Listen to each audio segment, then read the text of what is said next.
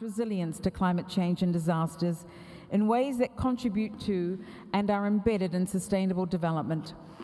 The FRDP is a vehicle to implement international frameworks, including the Sendai Framework for Disaster Risk Reduction, the Paris Agreement on Climate Change, and the Agenda 2030 for Sustainable Development.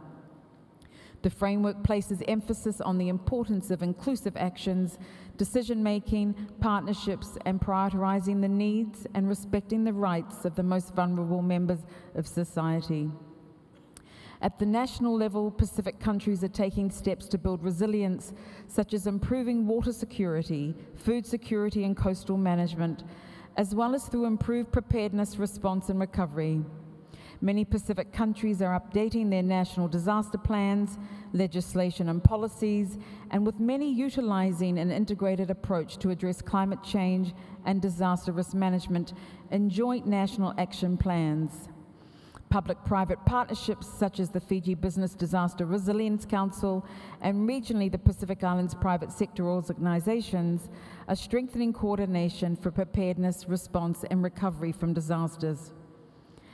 As the principal scientific and technical organization in the Pacific region, SPC utilizes a multi-sectoral approach in responding to the Pacific Island countries' development priorities, with a lead regional role in disaster risk management and technical expertise across the resilience agenda.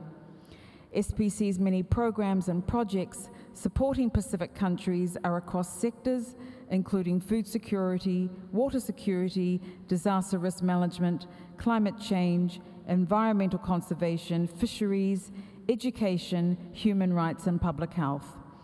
Our support extends to technical support during times of disaster and for the development of post-disaster needs assessments through strong partnerships with the other regional organizations in the Pacific, including the Pacific Islands Forum Secretariat, PIFS, the Secretariat of the Pacific Regional Environmental Program, SPREP, and the University of the South Pacific, USP, we collectively work towards building a safer and more resilient Pacific.